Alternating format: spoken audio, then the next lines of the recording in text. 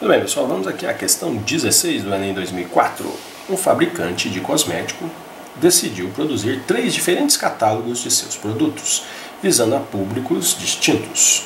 Como alguns produtos estarão presentes em mais de um catálogo e ocupam uma página inteira, ele resolve fazer uma contagem para diminuir os gastos com os originais de impressão.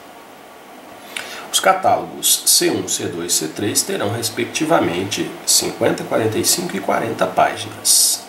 Perfeitamente.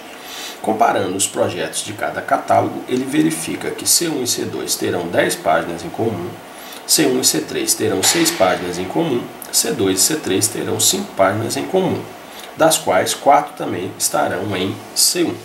Beleza. Efetuando os cálculos correspondentes, o fabricante concluiu que, para a montagem dos três catálogos, necessitará de um total de originais de impressão igual a. Uh, boa essa, hein? boa. É uma questão de conjunto. Que é o conjunto universo. Aí você tem um, dois, três. Vou chamar aqui de um, né, de dois e esse aqui de três. São os catálogos, né?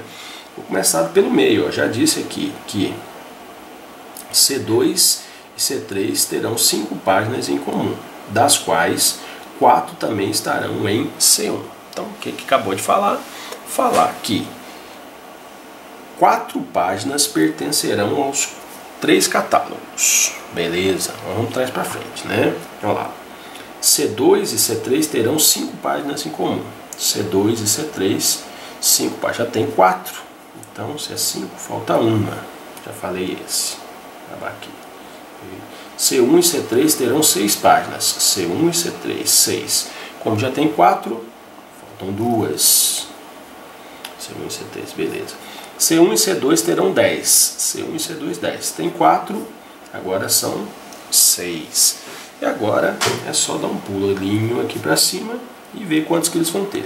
50, 45 e 40. Então, ó, isso aqui tem que ter 50, 10, 12. Faltam 38. Na 2 tem que ter 45. Tem 11. Faltam 34. E a última tem que ter 40. Já tem 7. Faltam 33. Agora, para saber quanto que vai ter, é só somar tudo, né? Eu sei que aqui é 50 mais 35, 85 mais 33 vai 118.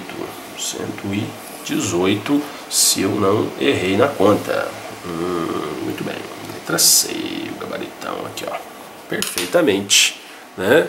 Então, acertamos, ok? Boa questão, eu dou muito desse tipo de questão lá para meus alunos, quando a gente está lá na teoria dos conjuntos, né? Tanto em precedendo um pouquinho álgebra linear, né? vai precedendo também é, o estudo lá da, da matemática discreta, né, lá no, no curso de informática. Muito boa questão. Vamos para a próxima.